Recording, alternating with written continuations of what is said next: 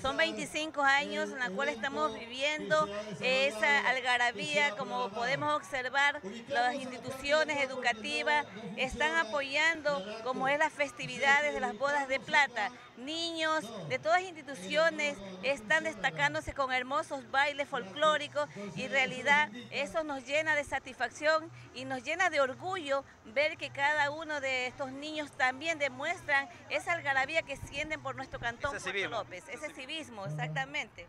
Muy bien, licenciada, hay varias actividades este año, entre ellos vimos, por ejemplo, que tenemos algunas candidatas a Reina del Cantón. Sí, son 14 señoritas que están participando a, Reina del Cantón Puerto López y este 23 de, agosto eh, se estarán presentando como es con la vestimenta de traje típico, en la cual se estará eligiendo el mejor traje que ellas llevarán.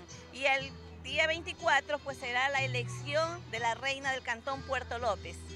¿Cuándo va a ser la, fecha de elección? ¿El 24? Eh, sí, el 23 es la presentación del traje típico y el 24 es la elección de la reina del Cantón Puerto López. ¿Va a ser un acto público ya en lugares? Sí, estamos en la parte del, malecón, en la explanada de, del muelle. No, no, no, no, no. Eh, la elección de la reina va a ser acá en el malecón. exactamente, sí, en el malecón y será al frente donde era la plazoleta.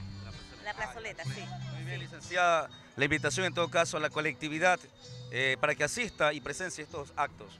Así es, se le invita a cada una de la ciudadanía, tanto de Machalilla, Salango, Puerto López, pues están invitados este 24 de, agosto, donde vamos a elegir a nuestra soberana del Cantón Puerto López.